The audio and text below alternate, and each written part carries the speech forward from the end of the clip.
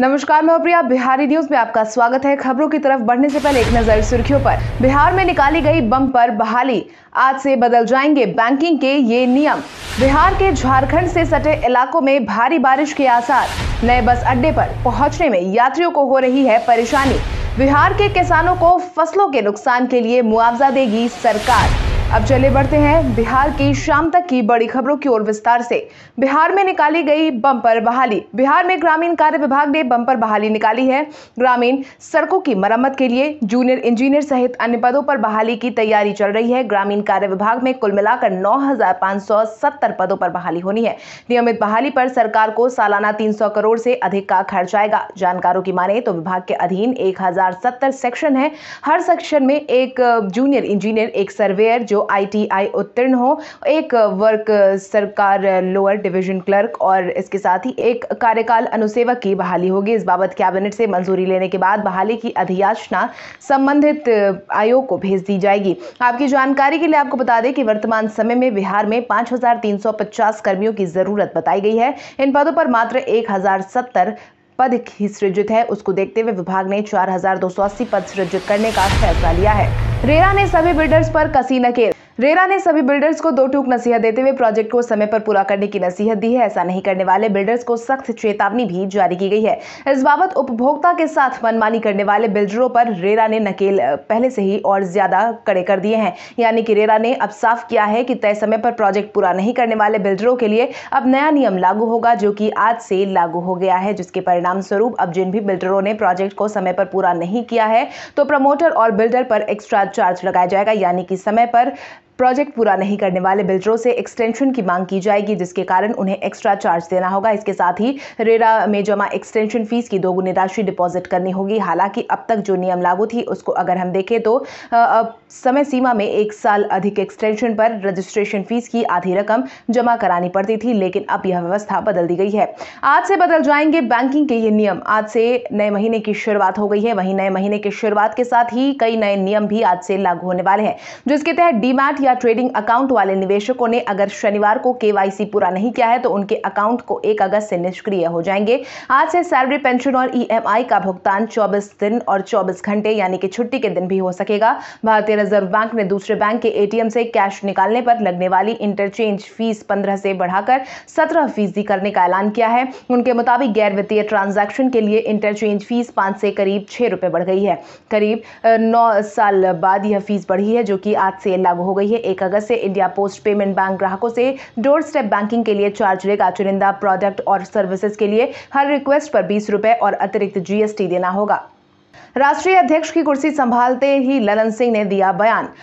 जदयू के राष्ट्रीय अध्यक्ष बनाए जाने के बाद ललन सिंह ने बीते दिन अपना बयान जारी किया है, जिसके तहत ईटीवी भारत से बातचीत के दौरान उन्होंने कहा कि पार्टी में किसी की भी अनदेखी नहीं की जाएगी, सबको साथ लेकर चलने की हमारी कोशिश है। सभी निर्णय लोगों के सलाह मशवरा से ही लिए जाएँगे और संगठन को एकजुट रखने की पूरी पूरी कोशिश की जाएगी। इसके साथ ही उन्होंने ये भी कहा कि मुख्यमंत्री नीतीश कुमार के कार्यो को गाँव गाँव और दूसरे प्रदेश तक पहुँचाया जाएगा, पार्टी में किसी की उपेक्षा नहीं की जाएगी। आरसीपी सिंह ने यह भी बताया कि राष्ट्रीय अध्यक्ष पार्टी को मज़बूत बनाने के लिए काम करता है। संगठन महासचिव रहते हुए संगठन को धारदार बनाया गया है। उसको आगे बढ़ाने का काम करूँगा। समाज के हर तबके को पार्टी के साथ जोड़कर, न्याय के साथ विकास करने का मुख्यमंत्री नीतीश कुमार का जो नारा है, उसे बुलंदियों तक ले जाने का काम करना है।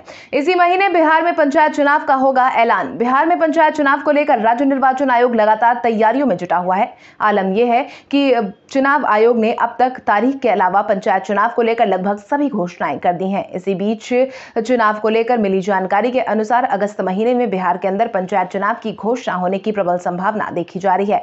आपकी जानकारी के लिए आपको बता दें कि राज्य निर्वाचन आयोग की यही कोशिश है कि बिहार में पंचायत चुनाव का आयोजन संभावित तीसरी लहर की आशंका के बीच हालात बिगड़ने से पहले पूरे करवा लिए जाए। यही कारण है कि राज्य निर्वाचन आयोग ने अब तक ईवीएम से लेकर हर एक मुद्दे को सुलझाने की पूरी पूरी कोशिश की है। इतना ही नहीं, बीते दिन राज्य निर्वाचन आयोग ने सभी जिलों के डीएम के साथ वीडियो कॉन्फ्रेंसिंग के ज़रिए चुनावी तैयारियों की समीक्षा भी की। इस दौरान अलग अलग राज्यों से लाए गए ईवीएम में बारकोड लगाने और उसे स्कैन और स्टॉक एंट्री करने का निर्देश सभी डीएम को दिया गया है।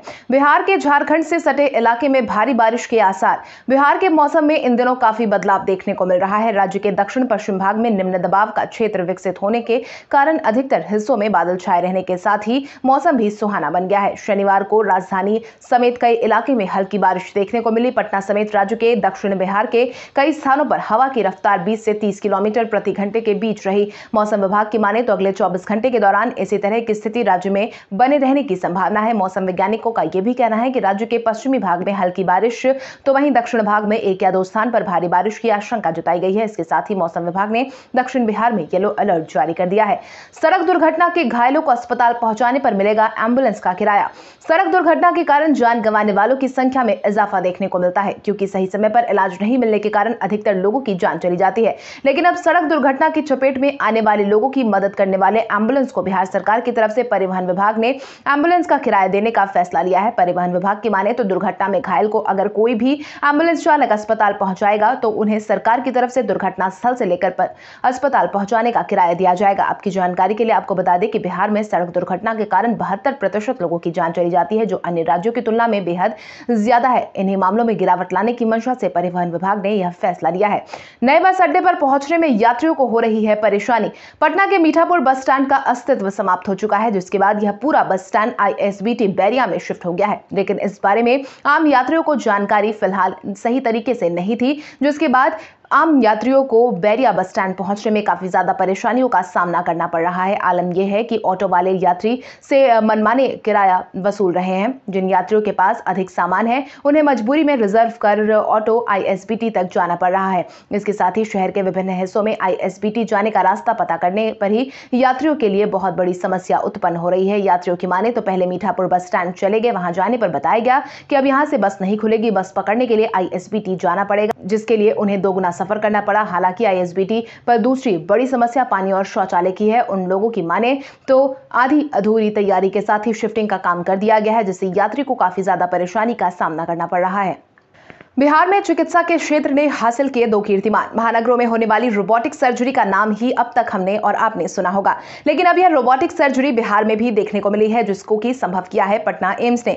यहाँ रोबोट से पैंसठ वर्षीय महिला के ब्रेन ट्यूमर का सफल ऑपरेशन किया गया। राज्य में सरकारी अस्पताल में यह पहली रोबोट सर्जरी है। हालाँकि अभी इसका डेमो किया गया है। वहीं दूसरी तरफ़ आईजीआईएमएस में कूसा ने गोल ब्लाडर के कैंसर की सर्जरी हुई है। Indira Gandhi institute of medical science के गैस्ट्रो सर्जरी विभाग में चालीस वर्षीय महिला का पूर्वक पित्त की थैली का कैंसर का दूरबीन विधि से किया गया है। इन दोनों कीर्तिमान के साथ बिहार में आने वाले समय में चिकित्सा के क्षेत्र में बड़े बदलाव होने की उम्मीद भी अब बढ़ने लगी है। हावड़ा स्टेशन पर पाँच जोड़ी ट्रेनें हुई रद्द। यात्रीगण कृपया ध्यान दें, हावड़ा स्टेशन और आसपास के इलाकों में जल जमाव की स्थिति को देखते हुए पाँच जोड़ी ट्रेनों को रद्द कर दिया गया है। मिली जानकारी के अनुसार पश्चिम बंगाल में लगातार हो रही बारिश के कारण हावड़ा स्टेशन के आसपास जल जमाव देखने को मिल रहे हैं। इसके मद्देनजर ही पूर्व रेलवे ने एक और दो अगस्त को अपने गंतव्य से खुलकर पूर्व मध्य रेल के विभिन्न स्टेशन से गुजरने वाली या खुलने, पहुँचने वाली पाँच जोड़ी स्पेशल ट्रेनों के परिचालन को रद्द कर दिया है, जिसकी जानकारी पूर्व मध्य रेलवे के मुख्य जनसंपर्क अधिकारी अधिकारी राजेश कुमार ने दी है। उन्होंने आगे कहा है कि बारिश की वजह से जलभराव से ट्रेनों के परिचालन में मुश्किल हो रही है। इस वजह से आज भी ट्रेनों का परिचालन निरस्त किया गया है।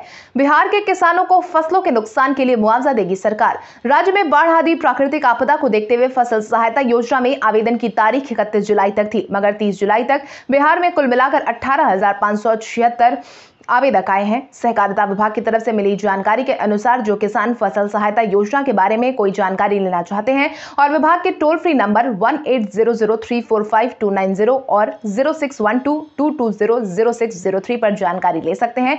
वहीं सरकार की यही मंशा है कि जिस भी किसान की बीस फ़ीसदी फ़सल को क्षति होगी तो उस किसान को पचहत्तर सौ रुपए प्रति हेक्टेयर की दर से फ़सल सहायता योजना का लाभ दिया जाए, जबकि बीस फ़ीसदी ज़्यादा फ़सल को क्षति होने पर संबंधित किसान को दस हज़ार प्रति हेक्टेयर की दर से क्षति का मुआवजा दिया जाए। हालाँकि रैयत किसान द्वारा ऑनलाइन आवेदन और बंधन के लिए आधार संख्या, Aadhaar registered mobile number, Aadhaar संबंध बैंक खाता भू स्वामित्व प्रमाण पत्र या राजस्व रसीद, स्व घोषणा पत्र और आवेदक का फ़ोटो ज़रूरी है।